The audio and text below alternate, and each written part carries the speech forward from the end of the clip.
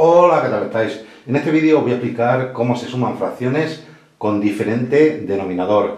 Mirad, ya sabéis que el número de la parte superior se llama numerador y el número de la parte inferior se llama denominador. Pues bien, lo primero que tenemos que hacer es reducir las tres fracciones a común denominador, lo cual quiere decir que tenemos que hacer que las tres fracciones tengan el mismo número en la parte inferior.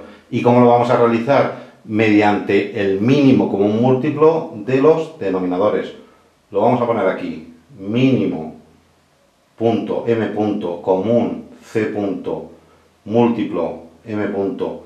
Abrimos paréntesis de 4 primer denominador, 3 segundo denominador y 6 tercer denominador. Ahora lo que vamos a hacer es descomponer los números en producto de factores primos. Descomponemos o hacemos la descomposición factorial del número 4. Hacemos la rayita. 4 entre 2 a 2 y 2 entre 2 a 1. Con lo cual el 4 queda como 2 al cuadrado, porque se repite dos veces. Descomponemos el 3, aunque no haría falta, porque 3, hacemos la rayita, entre 3 nada más a 1, con lo cual el 3 queda como 3. Y por último descomponemos el 6. Realizamos la rayita, 6 entre 2 a 3 y 3 entre 3 a 1. El 6 queda como el siguiente producto, 2 por 3. Ponemos aquí 2 por, voy a poner un puntito, por 3. Ahora, para calcular el mínimo común múltiplo, tenemos que tomar los factores comunes y no comunes elevados al mayor exponente. ¿Qué factores se repiten? El 2 al cuadrado y el 2. Tenemos que tomar el 2 al cuadrado. 2 al cuadrado, el mayor. Por 3. Este 3 y este 3 son iguales. Tomamos uno nada más.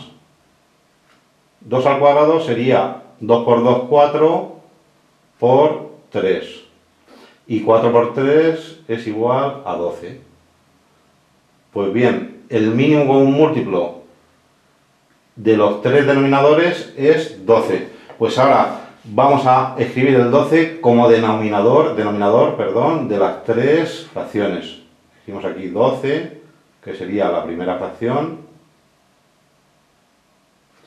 más 12, que sería la segunda fracción, más 12, que sería la tercera fracción. Ahora vamos a dividir 12 entre el denominador de la primera fracción y el resultado cociente lo multiplicamos por el numerador. Mirad, 12 entre 4 a 3 y 3 que es el cociente lo multiplicamos por 3, 3 por 3, 9. Ahora, 12 entre 3 a 4. 4 por 3 son 12. Y ahora, 4 que es el cociente lo multiplicamos por 2. 4 por 2, 8. Y ahora, 12 entre 6 a 2, 2 por 6, 12, y 2, que es el cociente, lo multiplicamos por 1. 2 por 1, 2. Esto va a ser igual, dejamos el mismo denominador, 12, y sumamos los numeradores. 9 más 8, 17, más 2, 19. Con lo cual, el resultado de esta suma de fracciones es 19 doceavos.